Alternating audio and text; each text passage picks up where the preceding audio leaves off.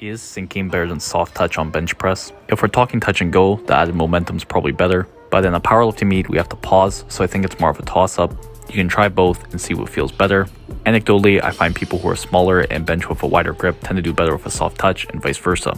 But a couple other things to consider if you do do sinking. I'll put some solutions on screen. First off, you're not going to press command until the bar is motionless, and you're generally going to get a quicker command if you do a soft touch. You're also more likely to get called for heaving, that is having the bar move downwards after you get the press command. Also, I see some people when they do the actual act of sinking to have the elbows move relative to the bar. This means the elbows have to move back into proper position before we're going to efficiently transfer force. This could be wasted energy, or if that's our sticking point, we may not get back into position before we fail.